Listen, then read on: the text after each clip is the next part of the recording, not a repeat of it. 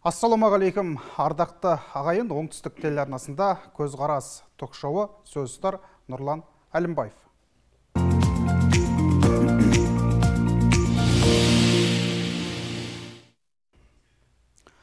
Президент қасым жомарт тоқаев нұрсұлтан қаласында бизнес өкілдерімен кездесті. Жалпы бұл кездесуде бір қатар өзекті мәселелер айтылды. Соның ішінде қазақстандағы бүкіл байлықтың тең жартысы 162 адамның қолында екені айтылды.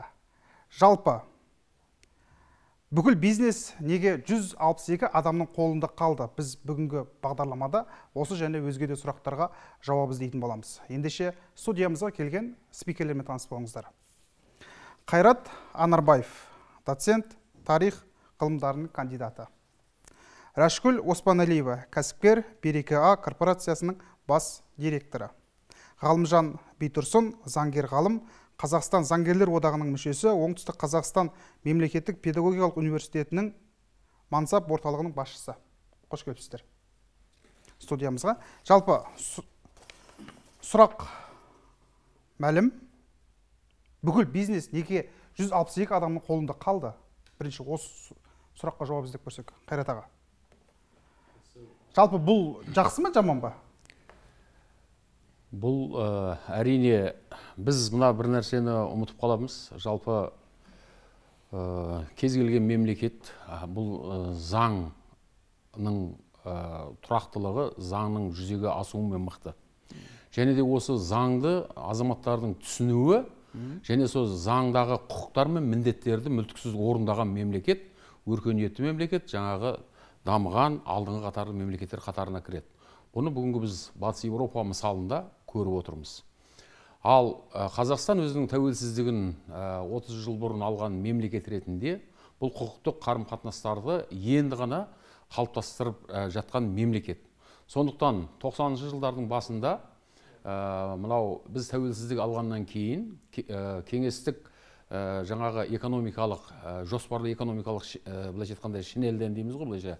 Шапаннан шыққан бұрынғы кеңестер одағының одақтас республикасы ретінде біз мынау нарықтық қатынастарға түскен кезде ол нарықтық қатынастардың заңдылықтары мен бұрынғы әкімшілік басқару дейміз ғой мысалға. Әкімшілік басқару жүйесінің Э, мынау экономиканы болсын саясат барлық сол басқару жүйесінде демократия мен бұрынғы тоталитарлық жүйеден қалған ә, сарқыншақтар дейміз ғой. Солар екеуі қабат келіп қалды да. Сол күйде бізде жаңағы демократиялық мынау гуманитарлық бағыттардағы үлкен дүниелер әкімшілік арқылы жүзеге асатын болды. Біздің жағдайда бұл бір президенттің жаңағы заң шығару атқару құқықтарының барлығы берілуі мәселесі 95 жылы жаңа өзектіге айналғанын біз білеміз. Шындығында да ол сол кезде керек болды. Бірақ біз бүгінде мысалға ештеңе жасалынбаған сияқты аузымызды құр шөппен сүртпеуіміз керек. Ол заманның да өзінің қажеттілігі мен сол кезектегі керектіліктеріне жаңағы өзінің атқарған жақсы жақтары болды. Жақсы. 162 екі адамды да шығару қажет болды. 162 адамды да шығару қажет болды. Өйткені мынау э, нарықтық қатынастарға э, жүз алпыс екі қажеттілік деп қарамаймыз ол жүз алпыс екі емес ол мүмкін миллион алты жүз болу керек шығар біздің қазақстанда егер қазақстанның әлеуметтік жағдайы жақсы болу үшін. Ал жүз алпыс екі адам деген сөз бұл монополия деген сөз. Яғни барлық салалар бойынша мынау монополиялық басқару бұл нарықтық қатынастардың заңдылығынан тыс тұрады. Былайша айтқан кезде.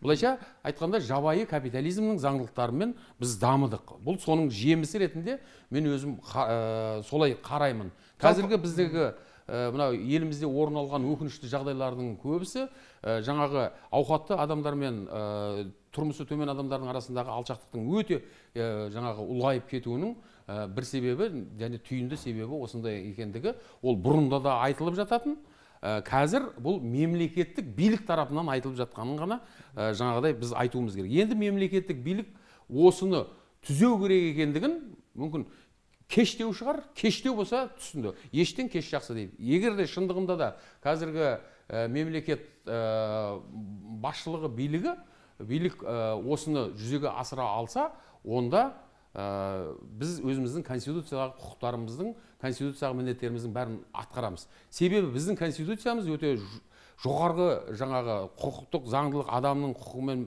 міндеттерін айқындаған конституция онда біздің қоғамдағы ең құнды дүние адам оның өмірі мен құқықтары жақсы бұдан келер қауіп бар ма? а? Қауіп бар ма бұдан келетін? Қандай қауіп? Болуы жаңа мүмкін. жүз алпыс екі адамға билік Ә, дұрыс иә. па? Әрине елдегі байлықтың тең жартысының осы жүз алпыс екі адамның бұдан қолында бұдан қолында қауіп бар бұл әлеуметтік ә, теңсіздіктің одан ары қарай күшеюіне жалпы ә, мынау ә, өзі ә, бұрын ә, кеңестік одағында оқыған кезде біз мынау мысалы тарих мамандығын оқығанда біз білеміз. Революцияны кім жасайды? Кімдер жасайды? тақыр кедейлер немесе Байлар. жаңағы байлар. Ең ә, жаңағы ә, ал ә, өзіміз жақсы білеміз тұңғыш президент елбасы осы орта тап орта бизнес ұсақ және орта бизнесті дамытуға барынша күш салды. Бірақ анау ә, немен ә, жаңағы биліктің басына дейміз ғой байлықтың құлағына дәмін татып ұстап қалғандар бұның жергілікті жерлерде жүзеге асуына көп жағдайларда ол ә, қалайсыз қаламайсыз кедергілер келтіріп отырады. Рахмет. Рашыл ханым сіздің көзқарасыңызды білсек. Менің көзқарасым мына біз айтамыз қазақстанда ә, жаңа менделеевтің барлық таблица элементтерінің барлығы бар деп. Кезінде мүмкін жаңадан біз тәуелсіздік алған жылдары сол ә, менделеев таблицасындағы бізге керекті заттардың барлығын мүмкін жаңа мұнай болсын жаңа мыс болсын жаңағы алтын болсын соны шығаруға мүмкін ә, кәсіпкерлер тартқан шығар. Ал бірақ бүгінгі күні көріп отырмыз біз барлық нәрсе сырье күйінде мысалы шетелге кетіп жатыр. Өзімізде мына шетелдерде миллиардерлер миллионерлер олар жаңағы бір нәрсені ойлап тауып содан э, жаңағы сол э, менен миллиардер болып жатыр а біздегілер мұнай да солардың қолында ең ақырғы жолға дейін тендерге де қатысатын солар бүткіл банк системасы да солар былай қарасаңыз ол жаңа жүз алпыс екі адамның ә, қолында барлық система солардың қолында болуы кешегі әрекеттердің болып жатқанының барлығы сол кісілердің ішінара қатынастары бар деген сөз. Яғни мен, мен өзім сөйтіп ойлаймын. Неге десеңіздер міне банк э, системасын алайықшы. Банк системасының барлығы сондай кісілердің қолында. Бүгінгі таңда мына э, телефонды ашып қалсаңыз онлайн кредит берудің барлығы. Осыдан барып біздің халық кредиттің ар жағын ойланбастан телефон алуға да басқа алуға да продукты питания алуға да кредитке кіріп кетіп жатыр мен мысалға ә, айтар едім бүгінгі таңда барлығы отбасы банк деп біз государственный жаңағы мемлекеттік банкті құрдық. Бес пайызбен отбасы банкін ал енді сол үш бөлмелі пәтер алған азамат 16 миллион теңгеге бүгінгі таңда пәтер алып жатыр. Бірақ оның пайыздық үстемақысы 9 миллион үстіне. А бірақ соның 8 жылда бірінші пайыздық үстемесін төлейсіз. Одан кейін барып ана жаңағы негізгі ә, қарызы одан кейін тоғызыншы жылдан бастап төлейді екен. Бұл не деген сұмдық былай қарасаңыз? Жалпы бұл мәселелер бұған дейін айтылды ма? Бұған дейін ол былай айтылғанменен ешкім ә, тыңдамады. Біріншіден екіншіден барлығы қорқатын болды. Мысалға мен өзім ә, мен өзім бұрыннан жаңағы ә, депутат болдым ғой қанша созып депутат болдым. Қанша мәселелерді айттық. Бірақ ә, оның барлығы біреу екеуі ғана айтылады да көптеген адамның жаңағы қол көтеруіменен өтіп кете береді өтіп кете беретін болатын болды содан кейін барып сіз ана әріптестеріңіздің алдында ой осы осы әйел ақ сөйлей береді деген жа- жағдайға жеткен болатынбыз. Ал бірақ бүгінгі таңдағы соның барлығы қордаланып қордаланып келіп кешегі халықтың қарапайым халықтың шыққаны осының дәлелі. Міне жаңағы маңғыстау халқына келді да тоқаевтың өзі екінші күні газдың бағасын алпыс теңгеге түсіріп тастады. Ал басқа облыстың барлығы газбен жүрмейді ғой. Мысалға біздің облыс бар астана бар бүткіл қазақстанның басқа өңірінің бәрі газбен жүрмейді. Ал олардың солярка мысалы сентябрь айында солярка ә, жаңағы 160 теңге 180 теңгеден сатылып жатқан солярка жаңағы біздің нефтеперегонныйлар жылда ремонтқа тұрады деп тұрды. Міне бүгінгі таңда 18 пайызға өсті солярка менен бензин. Ал бүткіл бүгінгі таңдағы қымбатшылықтың барлығы не? Осы мына Жанар жағармайдың қымбаттауынан оның бәрінің перевозкасы бар ауыл шаруашылығының барлығы жанар жағармайменен жаңағы егіледі. Осының барлығы келіп жаңағы а енді мемлекет тарапынан кеше ана жақты ғана басып а мына жақтың ашуының үш төрт күннен кейін көтерілген себебі де сол. Шымкентте де басқа да. Олардың барлығы бұндай бір мародерствомен айналысамыз деген жоқ. Неге ол маңғыстаудың халқыныкін алпыс теңгеге түсіреді. А неге біздікін соляркамыз бұрынғыдан тағы да өсіп кетті. Екі жүз отыз теңгеге шығып кетті деп біздің халықтың көтерілген себебі сол. Ал сондықтан да осы жерде мен ойлаймын ә, мемлекет тарапынан ә, жаңағы барлық жақта естуші мемлекет деп біз тоқаев айтқаннан кейін біз қуандық действительно естуші мемлекет деп. А бірақ жергілікті жерлерде көп нәрсе баяғы сарынмен кетіп жатыр. Жақсы. Президент бұған дейінгі жолдауларында да айтты шағын және орта бизнесті қолдау керек деді. Жалпы шағын және орта бизнеске жақсы жағдай жасалып жатыр елде иә? Бірақ дамыған шағын және орта бизнес көрмедік біз. Ә, шамамен жиырма отыз пайыз. Дамыған елдерде бұл жетпіс сексен тоқсан пайызға дейін жетеді. Не себеп бізде? Міне мен өзімнің мекемемді алайыншы мысалға шағын және орта бизнес дейміз ғой. Мен өзімнің мекемемде жаңағындай өзіме керекті специалистерді бұрыннан 15 жылдан бері істеп жатқан специалистердің мысалға мен үй алып беруге тырысамын жаңағы пайызсыз басқасыз үй алып беруге тырысамын ал енді солардың жалақысы последний екі үш жылдан бері көтерілген жоқ. Мен көтерейін десем жаңа жанар жағар майымыз қымбаттайды бүткіл материалдың барлығы қымбаттайды. Кешегі өткен ә, жаңағы екі мың жиырма бірінші жылы осы мәселені көтеріп мен мына бүткіл мемлекеттің тарапынан соғылып жатқан мектебіңіз бар ма үйіңіз бар ма барлығы тоқтап қалады. Арматура да қымбаттады цемент те қымбаттады. Мынаны мемлекеттің тарапынан шығармасақ болмайды деп атамекенге айтып соныменен біздің облыстан э, шымкент қаласынан шықты да сөйтіп бүкіл э, жаңағы республикада ә, не қылды бағаны қайтадан есептеу басталды. Бірақ соның ішінде де кейбір кәсіпкерлерге саған жаңа списокке ана жаққа тізімге қоспай қояды. Міне ол біздің жергілікті жаңағы өзіміздің атқамінерлер. Одан кейін қандай тізімге қоспай қояды? жаңағы қайтадан есептеу республикаға жіберіп сол мынандай мынандай мекеменің қайтадан есептесін деген тізімге қоспай қояды ана жерде жергілікті отырған управлениенің ба- ба- балалары. Одан кейін міне ә, мемлекет не үшін мемлекет? Мемлекет мысалға битум болсын не болсын ол жекеменшіктің қолында болса да ә, сәл сәл бір контроль жасау керек қой. Мына газ газпром деген келді бізде битумды жүз теңгеден қыста жүз теңгеден басталған ә, жаңағы жаздың аяғына қарай ол жүз жетпіс жүз сексен теңге болып кетті. Жолда қалай сапа болады?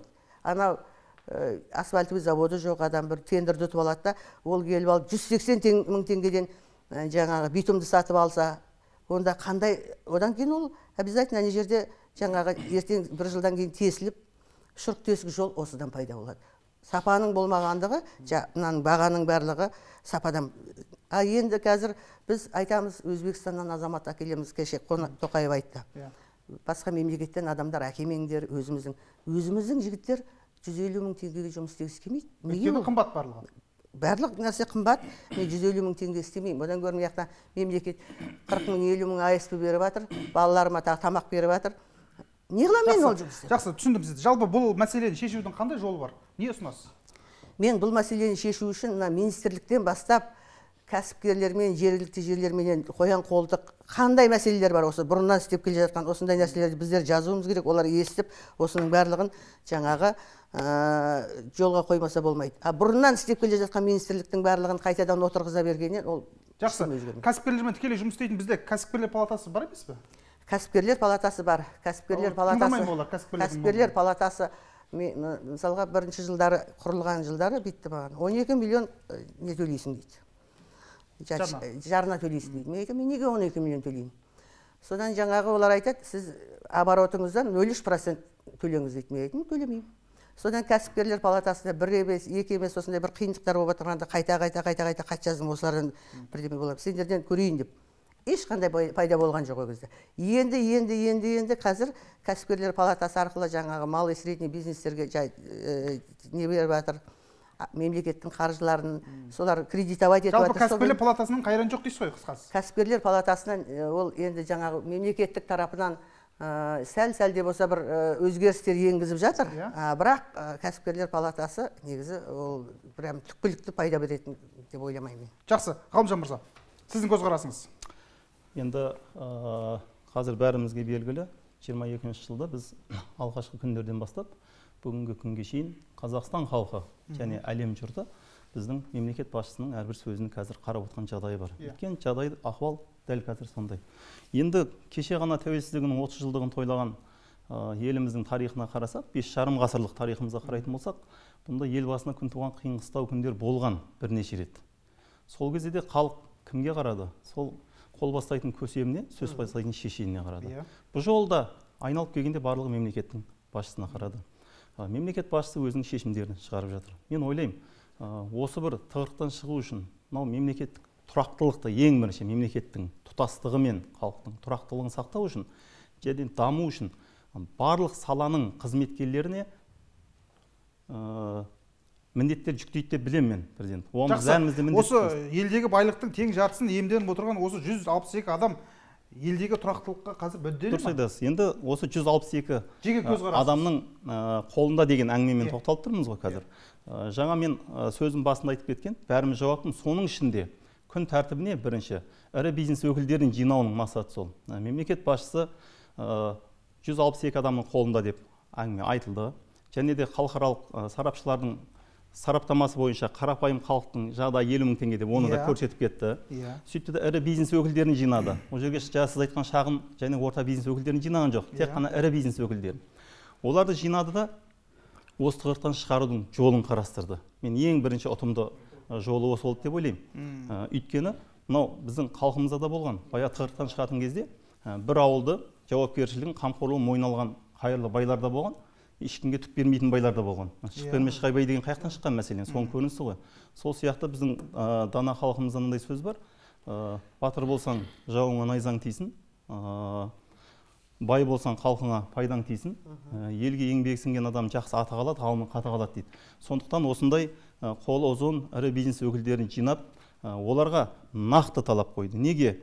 Шетелдегі капиталды елге қайтару деген нақты ұсыныс айтты. Ол тек қана ақшаларыңызды әкеліңіз алып қоямыз. Болмаса да халыққа бәрін таратып бер деген әңгіме емес. Иә. біріншіден оның заңдылық негіздері бар. Ынталандыру болады деді. Алып келсеңіздер ынталандыру болады. Ол не деген сөз? Сол жақта көбейіп жатқан өсім бізде де сол процесс келеді. Бұнда да өсіруге болады. Ке- кем қалмайсың. Екіншіден қаражаттың офшорларға кетуіне жол берілмейді деп тақап айтты. Ашық шынайы бәсеке орнатамыз. Нарықтағы қолдан жасалған делдалдық тізбектерді жою керек деп тоқтады. Жаңағы шағын ә, біздің қазақстанның ішінің өзінде 162 адамға тіреліп жатыр ғой қазір сіздің сұрағыңызда шағын орта бизнес неге дамымай жатыр деген Иә. сұрақ қойдыңыз қазір. Иә. және президент неге оларды шақырмады? Өйткені ә, жаңағы ірі бизнес өкілдерінің қасында ә, қолдан жасалған делдалдық тізбектер олар жойып жіберіп жатыр да. Былай қарапайым мысалмен алғанда мынау судағы шабақ пен жайын сияқты ғой. Түсіндіңіз ба? Кеңістігі тарылып өзінен өзі ары қарай сіз айтқан жаңа 80 процентке жете алмай жатқанымыз сол деп ойлаймын өз басым. Ә, және де кәсіпкерлердің әлеуметтік жауапкершілігін деген бір жауапкершілік жүктеді әлеуметтік орта құрайық жауапкершілік. Қазақстан халқына деген қорға да аударып тұрыңыздар деді. Олардың салық төлемейтін жақтарын да айтты. Ол енді анықталатын нәрсе әрине мемлекет деңгейде. Сондықтан осы нәрсені ә, ірі бизнес өкілдерімен бірге тығырықтан шығайық. Ә, жаңа халық қазақстан халқына деген қорға ақша құйылу арқылы сол мемлекеттің мүддесін шын мәнінде өтеп халықтың көзі жеткен жағдайда бір сенім пайда болады деп ойлаймын. Бұның басында президент тұрғаннан кейін мен бұл аяқсыз қалады деп те ойламаймын. Сондықтан осы бір жиындағы ә, мемлекет басшысының мына талаптарынан мен ойлаймын ірі бизнес өкілдері нәтиже шығаратын шығар. Жақсы. Сөз жүзінде қалады деп ойламайсыз ба? Сөз жүзінде қалады деп ойламаймын. Ойламайтын себебім бұл мемлекет басшысының талабы мемлекет басшысы тікелей ол кісінің біраз мысалдар да келтіріп отыр. Ірі бизнес өкілдері қолдады ма? Ірі бизнес өкілдері енді тағы да жалпы қолдап отыр ма? қолдады деп ойлаймын. Қарсы шыққан ол жерде ешқайсымыз қарсы шыққан ешкімді көрген жоқпыз. Өйткені қарсы шықпайтынына бұл кісінің талаптары негіз. Иә. Ынталандыру болады. Офшорларға кетуіне жол берілмейді. Қолдан жасалған делдалдық тізбектерді жою. Осы нәрселер ә, қарсы шығады деп ойламаймын. Жақсы. Алып қойсаңыз орнына ал қосар болғанда бұл жерде мынау жаңа ғалымжан мырза дұрыс айтады мынау ірі бизнес өкілдеріне мемлекет жекеменшікке қол сұғылмайтындығына ол ең бірінші осы кездесуде айтылған бірінші мәселе жаңағы жекеменшікке қол сұғылмауына мемлекет кепілдік береді. Ал енді ә, бұның сөз жүзінде қалуы немесе оның орындалуы бүкіл қоғамдағы белсенділікке тікелей байланысты. Қазір ә, қоғамдық сана өзгерген. Бұдан ә, тіпті мен айтар едім бе- бес он жыл бұрынғы санадан қазақ қазақстандықтардың санасы әлдеқайда өскен. Өйткені қазір мынау ғаламтор арқылы басқа мынау көзі ашық азаматтардың барлығы ә, өзгені өзімен салыстырып ә, қарай біледі және ә, жаңағыдай талдай біледі. Мынау тұрған мынау біздің финляндияда мынау бізбен салыстырған кезде енді халқының саны шамалас. Былайша айтқанда 19 миллион халқы бар екен. Сол финляндияда мысалға ұрлық деген нәрсені түсіне алмаймыз дейді екен. Ол сен өзіңнің ә, келешегіңді жойып жатсың деген да. Сонда мынау ә, бұның барлығы ә, басқа ойлау жүйесіне келіп тіреледі. А, қазақтың ойлау жүйесіне егер үңілетін болсақ біздің бабаларымыздың барлығы да олар да қызық қууына болар еді ғой. Олар да демалысқа баруға болар еді олар да шетел бүкіл әлемді аралап көруіне болар еді ғой. Бірақ біздің бабаларымыз ә, осы мынау сіздер мен біздер өмір сүріп жатқан әлемдегі тоғызыншы орын алатын жерді жауларынан ә, ішкі сыртқы жаулардың бәрінен қорғап бізді ел етіп қазақ деген халықтың мемлекеттілігін бәрін сақтап ә, елдігін сақтап кетті. Олай болатын болса бүгінгі ұрпақ біз сіздер мен біздер де осыны ойлауымыз керек. Егер де біз оны ойламайды екенбіз онда біз бұл елде тұруға өмір сүруге құқығымыз жоқ. Ал егер де қазір мемлекет кепілдік беріп тұрған кезде ә, бұған дейін де бұндай мына легализация дейміз ғой жаңағы жария ету екі үш мәрте өтті біздің мемлекетімізде. Бірінші президенттің басшылығымен оны біз жақсы білеміз. Міне осында мысалға заңсыз табыл- ә, табыстың жаңағы нелердің барлығы заңдастырылды. Ал енді одан кейін ұрлық жасау былайша айтқан кезде бұл енді қылмыс болып саналу жақсы. Қазақстандағы ірі, бизнес өкілдері жалпы ірі кәсіпкерлер қаржысын неге шетелде сақтайды? Бұл себебі бар ма? э, бұл енді қазір бұқаралық ақпарат құралдарында да айтылып жатыр. Және ел э, мынау э, ел сарапшылары да шетелдік сарапшылардың пікірлеріне қараған кезде де бұл мемлекеттің келешегіне сенбеушілік. А, сіздің көзқарасыңыз қалай? Мен де сөйтіп ойлаймын. Мемлекеттің келешегіне сенбеушілік яғни шетелдегі қазақстанда жұмыс істейді қаржы табады Иә. ірі бизнес өкілі бір, болады Иә. бір, кісілер айтты ғой даже бізде әкім болып кеткен кісілер де айтты. Қазақстанда жұмыс істеу керек шетелде қыдыру керек демалу керек деген сияқты. Сондықтан яғни қазіргі біздің идеологиямыздың жоқтығы. жоқтығы. Біз экономика экономика деп экономиканы бірінші орынға қойып идеологиямыздың баяғы ата бабамыздың жаңағы осыншама жерді қорғағандай бізде әрқайсымызда патриоттық сезімнің жоқтығы болып осыдан болды иә атаның баласы болма адамның баласы бол деген сөздің мағынасын түсінбейміз.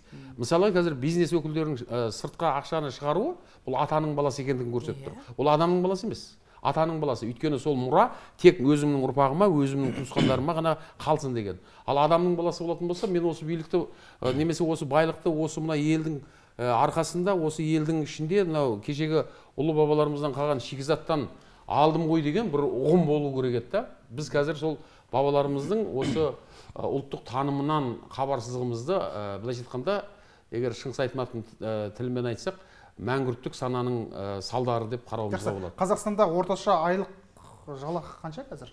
Орта есеппен. екі жүз елу мың теңге статистика бойынша. Расында солай ма? Негізі енді бұл жерде ә, жаңағы миллион екі миллион теңге жалақыменен жаңағы елу мың теңгенің ортасы енді сондай болып тұр ғой енді. Екі миллион миллион теңге президент жалпы халықтың тең жартысы елу мың теңге төңірегінде? Жоқ ондай мысалға менің мекемемде алатын болсам бізде жаңағы орташа жалақы 150 мың теңге. Орташа жалақы. Оның ішінде ең төменгі жалақы 150 мың теңге а бірақ жоғары жалақылар 400-450 мың теңгеден асады. А бірақ енді мына нелер? Күзетші дейміз ғой не күзетші ма не ә, олар 60 мың теңге ол үш күнде бір түседі ғой. Сонда соның өзінде ол үш күнде бір түседі да оған дополнительный қосса сонда ол жүз мың теңгедей айлық алады сонда екі күн үйінде демалады. Сондай жақсы. енді бір кісілер ә, елу мың теңге жалақы алады. Бұл енді халықтың тең жартысы деп президент өзі айтты. Президентке де шынайы ақпарат жетіп жатқан шығар. Жалпы кейбір кісілердікі екі миллион үш миллион жалақы алатын азаматтар бар. Бұл теңсіздік Енді қараңызшы. қайдан шықты? Неге бұлай болады? Мысалға ал екі миллион теңге алатын бір миллион сегіз жүз мың теңге алатын әкімдер. Әкімдер енді әкімдер если былай шындап керетін болсақ Иә. мысалға біздің шымкент қаласының әкімі. Ол миллионный қаланы ары қарай өсіп өркендетуіне атсалысып күндіз түні жұмыс істеп жататын болса оған екі миллион теңге деген ештеме емес. Екі миллион теңге беруге болады. Ешқандай оған артықшылық жоқ. Бірақ сыбайлас жемқорлық болмаса бес миллион теңге де беруге болады. Егер барлық сала халықпенен әкімнің арасы халықпенен ненің арасы жақын бола жатса онда ешқандай өкпе жоқ ол кісілерге. Бес миллион теңге тағайындап қойсын. А халық мына кейінгі кезде кейінгі сол екі мың жиырмасыншы жылдан бері екі жыл болды. Былай қарасаңыз президентіміздің өзінің тағайындалғанына үшінші жыл болып жатыр. Мына пандемия деп тек қана онлайнменен кездесу онлайнменен халықтың бәрі онлайн болып кетті. Ә, сонда содан кейін барып халықтың ашу ызасынан э, түсіп жатқан сол. Мысалға депутаттар барамыз біз халықпен кездесеміз оның барлығын біз жазып мына жаққа береміз дегенде а бірақ барлығы онлайн. Енді енді кешегіден кейін барлық әкім де басқа да халыққа шығып онлайнның бәрін қойып офлайн болып қазір халықпен кездесіп жатыр. Бұның өзі де құдайға шүкір алдымызда бір болатын шығар жақсылық деп ойлаймын. Ал енді шукеевтің бір миллион сегіз жүз мың екі миллион жалақы алады дейді. Ол күндіз жұмыс істеп жатыр. Мысалға түркістанды түлетіп жатыр. Неге ол кісіге жалко? Ол кісіге наоборот бес миллион берсе де ешқандай да ол кісіге артықтық қылмайды деп ойлаймын. Жақсы енді ақтөбелде адамның осынша жалақы ал- алатынын ескеріп орташа айлық жалақыны шорт кесіп айта салу дұрыс па? Дұрыс емес. Екі жүз елу мың теңге иә қазіргі мысалға міне қазір халықпен кездескен кезде біз осы мына нұр отан партиясында қоғамдық қабылдауға ке- келген кезде менің бір қарным ашатыны жаңағы біздің жігіттеріміздің барлығы қазақтың жаңағы жігіттері кезінде ата бабамыздың салт дәстүріндегі жігіттерге сай емес. Баланы туғызады туғызады да қашып кетіп жатыр. Ана әйелдің бәрі үш төрт бала шағасы бар барлығы келеді. Қайда күйеу? Күйеу жоқ. Екінші күйеуден тағы бір екеуін туып алады сөйтеді да жаңағы біздерге келеді. Сол сияқты біздің қазақта осы мына отыз жылдың ішінде біз идеологияны жаңағы дұрыс жолға қоймағандығымыз мына мектептен бастап үйінде ажырасқан әйел тәрбиелеген бала мектепке келгенде 99-да тоғыз пайыз әйел тәрбиелеген бала. Осы ер азаматтың ең соңында мен дейтін жаңағы тәрбиесі болмағандықтан осындай деңгейге жетіп жатырмыз деп ойлаймын. Сөйтіп ана үш төрт баласыменен әйелдер не істейді мемлекетке жа- жалпы осыда деп ойлаймын. Рәшіл ханым толықтыра кетейін өте дұрыс айтып жатыр. Бізде мемлекет кейде өзіне әлеуметтік мынау жауапкершілікті шамадан тыс алып қалатын сияқты болып көрінеді маған. Жаңағы жалғызбасты аналар дегеннен шығады. Көптеген жалғызбасты аналар жалғызбасты емес. Олардың күйеулері бар. Олар ә, немесе жаңағы ә, ұлы сөзде ұят жоқ ол шындап келген кезде ойнас ер азаматтар бар оларды былай жабдықта ә, жаңағы ә, нетіп отыратын да Қамқорлығын алып отырған. иә қамқорлығын алып отырған. А бұл біздің мемлекетіміздегі ұлттық идеологияға мүлдем керісінше. Ә, мысалы жалғызбасты аналарды бірінші кезекте үй кезегін беру керек деген мемлекеттің бір әлеуметтік қамқорлығы да бірақ бұның астарына үңілсек ә, біздің ұлтымыздың намысын таптайтын дүниелер бар. Сондай кезеңдерде мысалға елден шыққан азаматтар жаңағы ірі бизнес өкілі бола ма сол ауылдан шыққан ірі кәсіпкерлер бола ма мынау сенің қарындасың мынау сенің ұрпағың немесе мынау сенің жесірің сен мысалға жергілікті билік өкілдері жаңағы ауыл әкімдерінен бастап аудан әкімдері деген сияқты осындай дүниелерді есепке ала отырып анау азаматтардың бетіне шыжғырып басу керек ағайынның бетіне басу керек. Дұрыс сонда қызымыз күйеуден шықпайды. Жаңағы азаматымыз семьясын тастап қашпайтын болады. Бізде керісінше ә, жаңағы о- мен ә, күйеуге шығамын бір бала туып ажырасып кетемін ары қарай мен еркін өмір сүремін деген сияқты. Мысалға қыздарымыздың адасып жүрген жайттары аз емес. Ә, және де жаңағыдай заң жүзінде ажырасып ә, былайша тұрмыста бірге өмір сүріп жатқан қанша фактілер олардың қаншасы мысалға ә, тіркеліп ә, бұның бәрі неден шығып отыр? бұның барлығы моральдық тұрғыдан дейміз ғой жаңағы иманның ә, ұяттың әлсіздігінен яғни мемлекет ә, мынау ұлттық идеологияны өзіміздің ұлы бабаларымыздың рухани дүниелерімен сабақтастыра ә, өрбісек онда біз ә, көп нәрседен ұтамыз. Мемлекеттің жағдайы да жақсы болады адамдардың түсінігі де ә, жалпы мынау тексіз ұрпақтың өспеуіне тектіліктің сақталуына біз әрекет жасаймыз. Сонда намыс деген нәрсе болады. Қызда да ұлда да ә, жаңағы сол ұл мен қызды өмірге алып келген ата ананың да жауапкершілігі болу керек. Міне осы заңдардың барлығын мысалға біздің заңдарымыз ә, мен төмендеп айта алмаймын. Бірақ мемлекет кейде шамадан тыс әлеуметтік жаңағы мәселелерді өзіне жүктеп алатын да жағдайлары бар. Ал шындығына келген кезде ол біреудің ұлы ғой ол біреудің қызы ғой ол біреудің келіні ғой ол біреудің күйеу баласы ғой. Соны неге сол ауылдағы бір ақсақал би немесе сол ауылдағы кеудесін керіп ә, жаңағы ә, джип мініп ары бері жүрген кәсіпкер немесе жаңағы ел билеп отырған азамат неге мысалға намыстанбайды өзінің ауылынан сондай қыздың шығып жатқанына өзінің ауылынан сондай жаңағы ер азаматтардың сондай намыссыз ез азаматтардың шығып жатқанына неге намыстанбайды ал бірақ есебінде бізде мынанша ә, жезөкше бар немесе бізде мынанша ез еркек бар деп бірде бір әкім айтпайды. Немесе сонымен жұмыс жасалды деп оның отчетында ол есебінде ол көрсетілмейді. Неге? Өйткені ол еш уақытта да оған қызыққан емес. Жақсы. Қайрат мырза жалпы президент айтқалы бері бір қатар сең қозғала басталды. Бұған дейін айтылмай келген дүниелер айтыла бастады. Тіпті үлкен мінбелерде естіп қалып жатырмыз. Енді мына жерде қазір тағы да бір мәселенің ұшын шығардыңыз қазір. Мәселен барлық нәрсе заңға келіп тіреледі солай ма? Көп жағдайда иә. егер біз мемлекет болдымыз заңға келіп тіреледі. Заңға келіп тіреледі. Қазақстан республикасының конституциясы неше рет өзгертілді білесіз ба жүз алпыс төрт рет қателеспесем. Толықтырулар деңіз толықтырулар иә. Толықтырулар. Ә, толықтырудан өзгертілдер ғой енді жалпы сияқты. иә. Неден бастау керек? Жаңа қазақстанды құру үшін. Заңның тұрақтылығынан ә, және ол ә, мынау ә, заң деген біреудің қалтасындағы дүние болмау керек.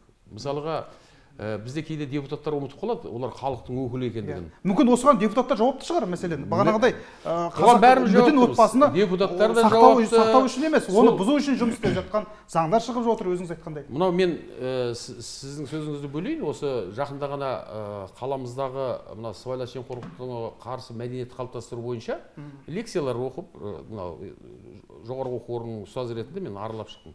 Сонда мысалға мектептің көптеген мектептерде мен болып сұраймын да осы сіздердің бюджеттік ақшаларыңыз жаңағы қа- қаражаттарыңыз былайша айтқан кезде республикалық және жергілікті бюджеттен құралады. Осы жергілікті бюджетте қай депутаттар сол комиссияның жаңағы құрамында бар немесе парламентте кімдер қарайды білесіздер ме десеңіз ә, бір ғана директор ғана жауап берді бір мектепте. Ә, басқа мектептердің барлығында былайша айтқанда құлаққа ұрған тыныштық та мысалға. Бұны мен неге айтып жатырмын? Өйткені көзі ашық жоғарғы білімді ә, мынау ә, мекеме басқарып отырған директорлардың өзі осы мәселеге қызығушылық танытпағаннан кейін ол ұстаздарын айта алмайды ол анау күніге баламен әуре болып жатқан. А, одан кейін ол кімнен сұрайды олар? Мысалға біздің мысалға одан кейін ол көшеге шығады. Көшеге шығу бұл өркениеттің жолы емес. Керісінше депутатын білсе депутатқа наказ жаңағы несін өзінің ұсыныс шағымдарын айтып осы мәселені айтып міне біз айттық егер де осыдан кейін біз бейбіт митингіге шығамыз одан кейін арыз жазып жаңағы құқықтық жаңағы нелерге деген сияқты сөз айтса онда кез келген сең бұзылады деп ойлаймын. Жақсы. Дәл осы сұраққа ғалымжан мырза. Ә, заңгер ғалым ретінде сіздің заңгер ғалым көзқарасыңызды ретінде айтайын. Келеді. жаңа өзіңіз айтып кеттіңіз ә, сіздің сұрағыңыздың бәрін тыңдап отырмыз ғой. Ә, кейінгі кезде мәселелер көтеріліп жатыр. Елу мың теңгеге алып келдіңіз иә? Бұрында неге көтерілмеген? Енді естеріңізде болса 2019 жылы біздің қазіргі президентіміз сайланды. Ең алғашқы қадам жаңа рәш ханым басында айтып кетті еститін үкімет деп айтып кетті. Ол кісінің алғашқы қадамы ә, тамыз конференциясына қатысты. Бұл педагогтар үшін мұғалімдер үшін үлкен бір белес болды ол бөлек әңгіме. Ал енді бүгінгі тақырыпқа оралатын болсақ ә, екінші мәселе халық үнін құлақ асатын мемлекет тұжырымдамасы. Осы тұжырымдаманың арқасында сіз айтып отырсыз мемлекет басшысына да информация келіп жатыр ғой. Халықтың жартысы елу мың деп жатыр ғой тегін емес қой деп отырсыз. Тегін емес. Неге? Құлақ асатын үкімет жұмыс істегеннен кейін сол информация келіп жатыр сол жерге. Мен өзім солай ойлаймын. Дұрыс. Енді ә, 19 жылы сол тұжырымдаманы жасады да араға бір жыл салып 20 жылы 25 мамыр күні заңға қол қойды. Бейбіт шеруге шығуға болады деп. Оны барлықтарыңыз білесіздер. Ә, бейбіт шеруге болады деп бас салып шыға беру деген әңгіме емес. Дәл қазіргі заман 21 ғасыр. Қазір барлық мем- мемлекеттің бірінші басшысынан кез келген мекеменің бірінші басшысына шейін жеке порталы жеке сайты бар бәрінің. Электронный байланыса алады. Толық мүмкін 24 сағат жазуға болады. Егер де шеруге шығу үшін халықтың массовый 2 миллион 3 миллион адам бір сұрақпен мемлекет басшысына болмаса үкімет басшысына болмаса тиісті сала министріне бір сұрақты көтеріп сондай массовый. Кеше шықты ғой халық. Солар бірінші сол сұрақ түссе соны Иә. сол сұрақ жауапсыз қалса шығуға болады деп ойлаймын. Неге? Жауапсыз қалды деп. Түсіндіңіз ба? Жаңа конституция туралы да айтып жатсыз заңгер ретінде айтып кетейін. шетелде қалай? Шетелде де осылай ма? Шетелде де ә, жаңағы мен айтып жатқан вариант ол алға кеткен бізден әлдеқайда алға кеткен. Жаңа конституцияның өзгеруі туралы айт- айтып жатсыз. Осы жағдайдан кейін конституциямыз тағы да өзгереді. Неге? Өзгеруге алып барады қазіргі жағдай. Өйткені мына біз енді жүз алпыс төрт рет өзгерттік қой. Енді жеткен жетістігіміз мынау көріп тұрсыз. Жүз алпыс адамды байыттық. Ол мынада. Құқықтық сауаттылық деген нәрсе бар. Иә. жаңа қайрат мырза құқықтық мәдениет туралы жақсы айтып кетті. Құқықтық сауаттылық деген нәрсе. Халықтың құқықтық сауаттылығы жетілмейінше конституция піспейді. Түсіндіңіз ба? Одан ол өзгере береді. Жаңа бейбіт шеруге шығуға болады деді да бейбіт шеруге шықты аяқ жағы не болып кетті мысалы үшін? Әлемдік аренаға бір ақ шықтық бәріміз. Жалпы ата заң дегенде ақш америка құрама штаттарының ата заңын айтады. Бір әрпі өзгертілмеген дейді. Сол рас па? Жоқ ол оларда негізгі заң былай тұрғанмен ол әр штаттың өзінің ә, заңдары бар. Мысалға ол жергілікті жердің жағдайына қарап ә, әр штат өзінің ә, жаңағы әртүрлі мәселедегі заңдары ол бір жақсы біздікі неге жиі өзгереді деген бірақ негізгі мынау ә, біздің ата заңымызда да негізгі мынау олигархтардың адам, жаңағыдай адамның мүддесін қорғау үшін өзгертіліп қорғау отыр ма солай ма? Толық біздің заң ә, ата заңымыз жауап бере алады. Жақсы. бірақ ондағы жаңағы өзгертулер жаңа сіз айтып отырған толықтырулар ол енді ә, кезеңдегі бір қызығушылық топтардың ма? ә, нелердің жаңағы несінен туындаған. Қысқа нұсқа. заң міндетті түрде өзгереді. Иә. қоғамның талабына адамның ой санасының өскеніне сай заң өзгереді. Мәселен қазір сотовый телефонның өзін. Олигархтардың ыңғайына байланысты өзгермейді? олай деп ой мүмкін өзгерсе бір екі заң өзгерер. Ал енді бірнеше заңды айтып отырмыз ғой Иә. мәселен. Апай банк системаны айтып кетті жаңа да Иә. ал енді мынау ә, адам санасы дамыған сайын қылмыстың өзінің түрлі варианттары бар. Электронды қылмыстар деген сияқты. Банкке жа ә, түсіп жатыр ғой қазір. Әркімнің қалтаңыздағы карточкаңызға да ұрлыққа түсіп жатқан кездер болды. Мысалы мәселен өткен жылы каспий банкті бір күн жауып тастады картамызды. Ескертті. Хакерлермен жұмыс істеп жатырмыз деп. Оған заң шықпаса болмайды. Міндетті түрде заң шығады оған. дұрыс айтасыз. Бірақ біздің халық жаңағы бұл кісілер айтпақшы действительно өзінің ой өрісін ой санасын заңды жақсы білуіміз керек.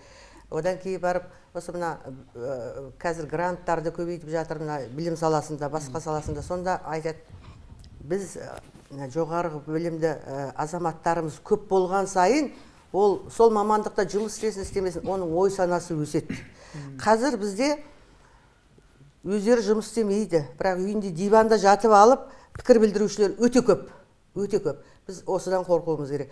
Мысалға анау азаматтарды анау біз ә, жаңа өзбекстаннан ақша беріп алдыртып ол байғұстар істейді. Біздің қазақтар жұмыссызбыз дейді бірақ жұмыс істемейді.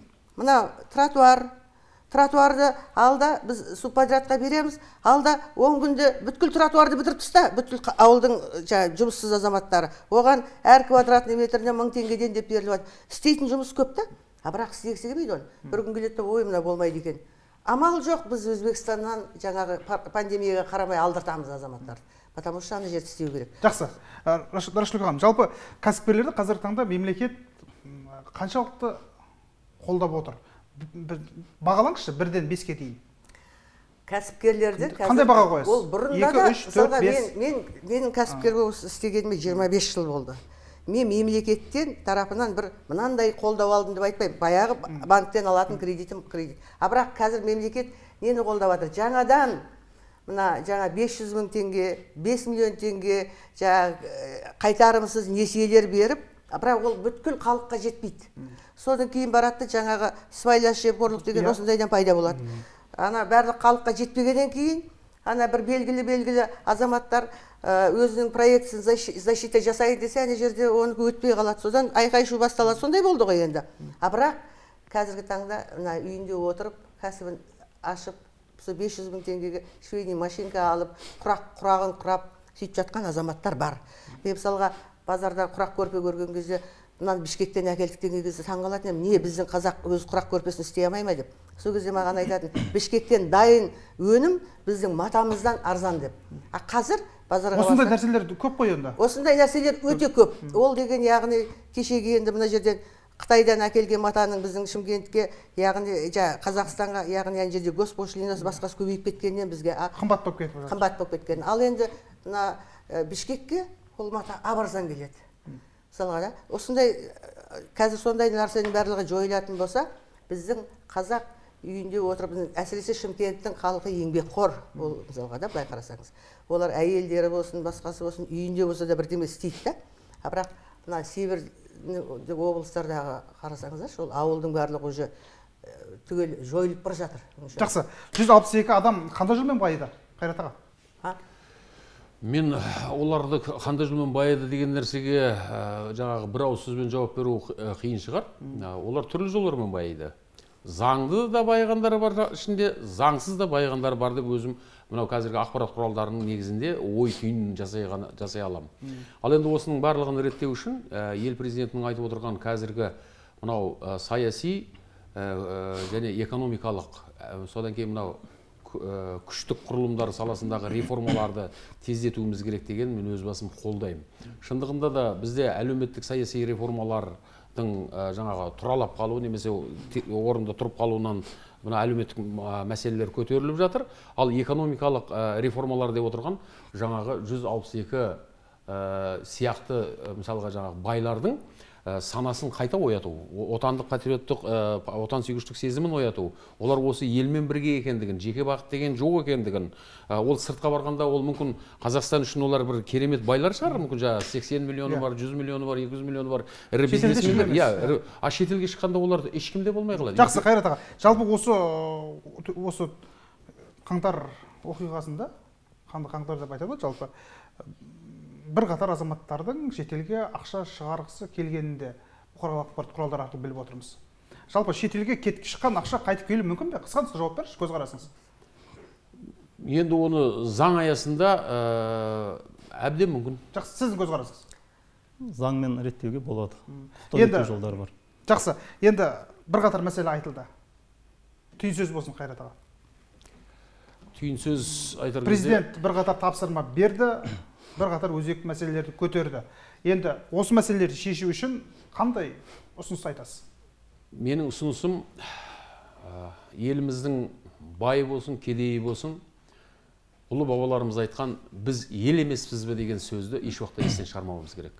Елдігімізді танытып бұл қиыншылықтардан да өтіп қазақстанның дамыған елдердің орын жаңағы арасынан ойып тұрып орын алуға әлеуеті адами әлеуеті де жетеді. Материалдық әлеует те жетеді ең бастысы мынау бірін бірі түсіну мәселесіне келгенде бір ә, мынау бір кемшіліктер бар сияқты маған. Осыны жолға қоя алсақ мына ел президентінің айтып отырған жаңағы естуші үкімет дегені және сол естуші үкіметке мәдениетпен қарым қатынас жасай алатын қалың жұртшылық болса біздің алмайтын асуларымыз жоқ. Жақсы. Рашид ханым. Менің ойымша ол мысалға не істеу керек? шетелге шетелде қаржысын жасырған азаматтар ол біздің елге қайтарып алып келмейді ол қаржыны.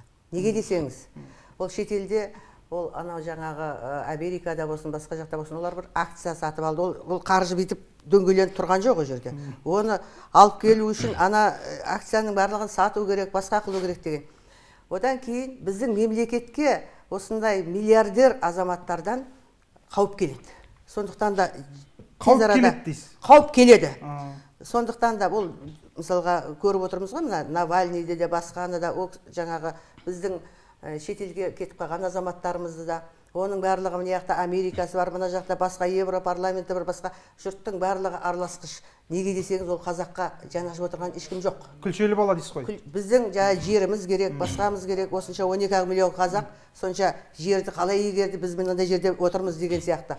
Сондықтан да бұған жаңағы заң талаптарын қойып мына кеше ел президентіміз айтты ғой енді ә, сендер қайтарыңдар ақшаларыңды халыққа көмектесіңдер деп. Соған бір уақыт беру керек болмайтын болса уже жесткое обращение болу керек менің ойымша. Жақсы сіздің? Енді ел боламын десең бесігіңді түзе деген ғой. Ә, мемлекет басшысы кешегі түйін сөзді ірі бизнес өкілдеріне айтты. Сіздер болашақтарыңызды туған жермен халықпен байланыстырыңыздар. Ол анау шетелден капитал қайтару дегенге бүгін қайтару болмаса келесі аптадан сонша қайтар деген әңгіме емес оған белгілі уақыт береді. Жаңа сіз айтқандай сол уақыттың ішінде оның барлығы процесімен қайтатын болса елдің игілігіне жарайды деп ойлаймын. Өйткені президенттің сөзінің ауанында сіздерді сондай жағдайға жеткізген мүмкіндік берген мемлекет деген де сөз тұрды. Сіздер жағдайға жеттіңіздер. Аяқ қол өздеріңізге қолдарыңыз жетті. Енді халықты да ойлаңыздар дегеннен айтылды. И гарантия нәрсені беріп кетті. Жаңа да негізгі гарантиялар айттым. Бір гарантиясы жоғары қазақстан республикасының жоғары сотының жанынан ә, әкімшілік сот алқасы құрылатын болды. Мықты заңгерлер соның құрамында болады да. Сол солардың құқығын қорғайды. Шетелден қайтарады осында сақталуына олардың қаржысының жойылып кетпей ары қарай процесске жүріп. Жақсы қандай ұсыныс айтасыз? меніңше де осы шетелдегі ақша қайту қайтпау деген мәселеде ә, бұл бұл төңіректе біз шектелмеуіміз керек. Ақша қайда жүрсе де осы мемлекет пен ұлттың мүддесіне жұмыс істесе болды.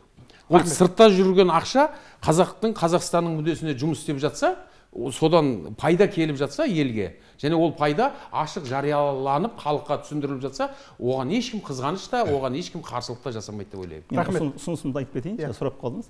Енді қазір кез келген нәрсе есеп жүрген есепті дос айырылма- айырылмас дейді. Мысалы үшін есеп болған жерде барлық нәрсе болады. Қазір соңғы жылдары әкімдер ұлттық университеттің ректорлары есеп береді. Қазір қандай көтеріліс болмасын әкім шақырса халықтың алдына барады. Неге? Есеп береді уже халыққа жақ, жақын деген сөз. Сол сияқты есеп беру керек ол кісілер. Соны тәртіпке келтіру керек деді. Сол нәрсе келсе мен бәрі іріктеледі іріктеледі оны болады рахмет. құрметті спикерлер жалпы бізге берілген уақыт өкінішке орай өз мәресіне жетіп отыр. Студиямызға келіп алтын уақыттарыңызды бөліп бірқатар сұрақтарымызға жауап бергендеріңіз үшін алғысымызды білдіреміз. Істеріңіз берекелі болсын.